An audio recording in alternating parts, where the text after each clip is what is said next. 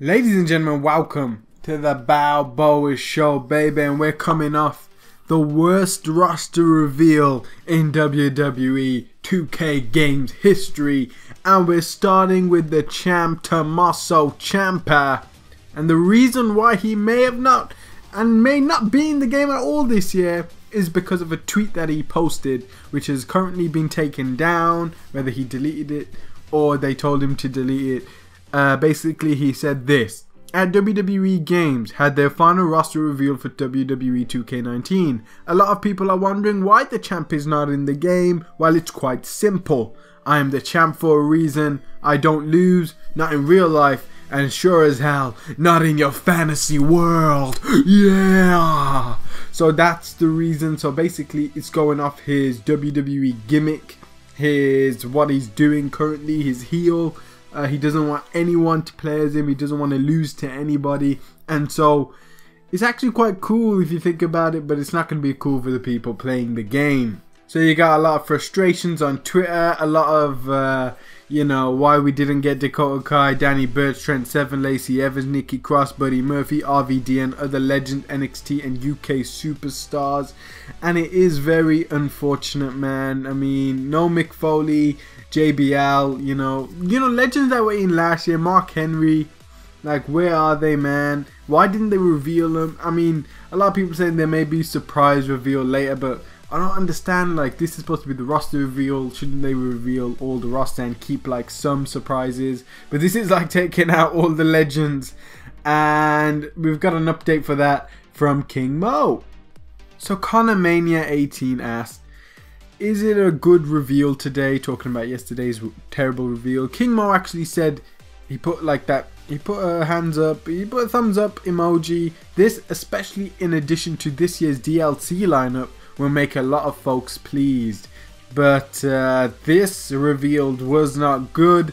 So will the DLC? I mean, why would he? I don't understand why King Moe said this is good. Uh, but he says that the DLC lineup will make a lot of folks pleased. So I'm thinking Ricochet, EC3, War Raiders. However, King Moe then did have another tweet that said this on September 9th.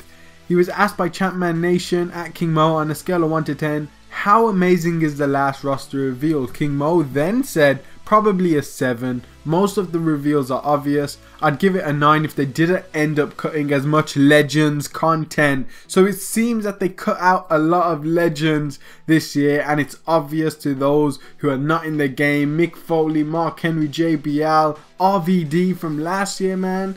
Like, where the hell are they? Uh, oh my god. I mean, they never even announced John Cena in any of these roster reveals, which is kind of odd as well.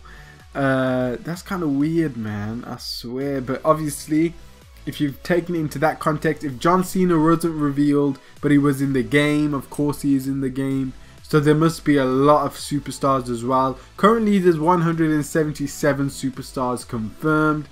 This is not the largest roster ever, but it should be and it will be most likely. I mean, there's so much roster members that are yet to be revealed, including DLC. So guys, keep your heads up high. There's so much roster to be announced yet. So much. I mean, uh, maybe they're going to reveal them. Maybe they won't even reveal them and when the game comes out, that's when you find out. I mean, that would be cool. I'll be honest. That I wouldn't mind that as long as we get them. They don't need to be revealed as long as they're in the game. Also coming out for Adam Cole, baby. So in the first ever roster reveal, the part 1, he was seen wearing the North American Championship. However, in the entrance video that they currently have on, you know, the full entrance where it's Adam Cole, Undisputed Era entrance. However, it's really an Adam Cole entrance with two managers, which are the Undisputed Era. He's not wearing the North American Championship. Maybe this is a hint to having Ricochet in the game. Otherwise, it's just going to be a title because we know the title's in the game. However, it's just going to be vacated, and it probably will be if Ricochet is not uh, on the main disc. Then it probably will be vacated, and it's just a hint that we will be getting Ricochet. It seemed like Ricochet will be in this year's game, and according to King Moe, the lineup was going to make a lot of people pleased for DLC. So yeah, most likely, I'll say 80%, 94%. I know that's a big difference if you're talking about percentages, but yeah, Ricochet, I could say he's most likely in the game, and hopefully King Moe or somebody gives us an insight on who DLC will be.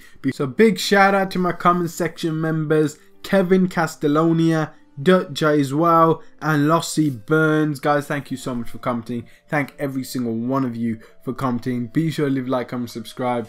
Uh, again, there's going to be a whole load of more roster members to be revealed yet. I mean, this is not enough for this year to be the biggest roster ever. So, guys, keep your heads up high. There's still more to come. Don't let them fool you, man. Don't let them fool you. But if you decided not to buy this game this year, I wouldn't blame you at all. Uh, save your money if you can. Uh, maybe we should teach him a lesson. You know what I mean? Yeah, be sure to leave a like, comment, subscribe. And thank you guys so much for watching. Peace out. God bless every single one of you.